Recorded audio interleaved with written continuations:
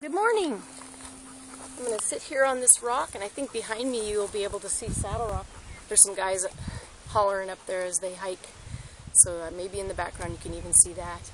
Um, I've been looking out over the alfalfa here that's in bloom, and you can hear the bees going, just really busy, working away, gathering their um, pollen and nectar and uh, taking it back up to their hive.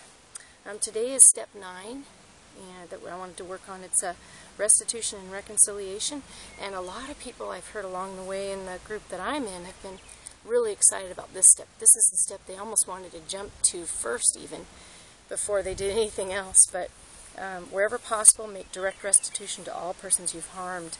So this is the point, you know, time where we seek forgiveness. We actually go out and talk to those that we've harmed and and because we've learned about that as we've gone through inventory, some of the things we've done, and, and this is all these steps. Um, I find you'll continue to recycle.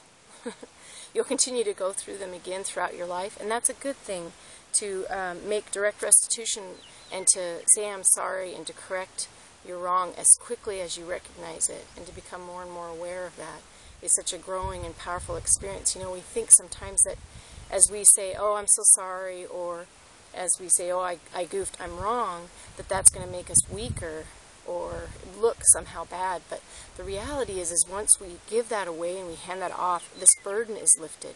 We're actually lighter, and um, life it becomes a lot easier, and uh, the joy and the peace can come in and in more abundance as we do that. We feel a lot better about you know everything that's going on in our lives.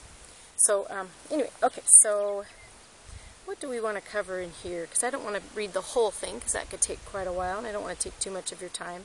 But I want you to know that in this step we do need courage and um, but there's other things we need. Good judgment, sensitivity, prudence, appropriate timing. And these are things that as addicts uh, we're, we're not very good at. We don't usually um, uh, possess these attributes at the time and as we're healing and these are the goals anyway to, to continue to get better at. And we can always pray and seek help from the Lord in the, you know in these times when we're trying to have that appropriate timing and the prudence that we need.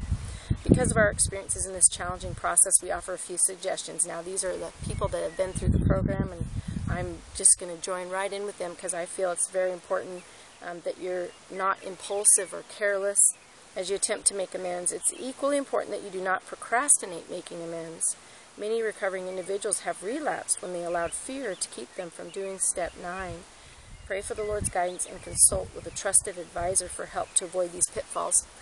You can also find somebody who's in the program that's um, at the same area or even a little bit ahead of you. Again, looking for those people that are succeeding at where you want to be or who you need to associate with and get yourselves with so you can succeed yourself and just become better and better.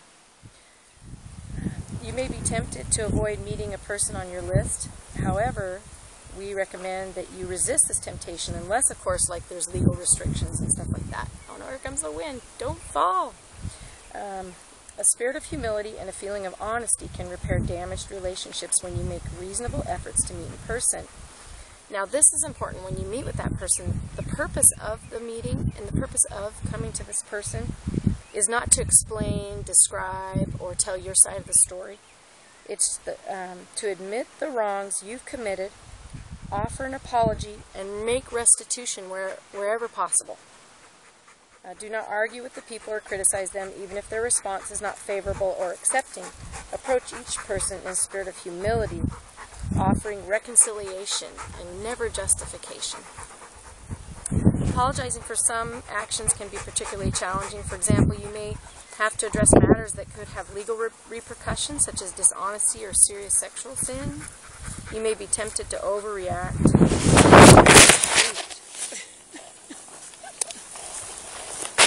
Still going.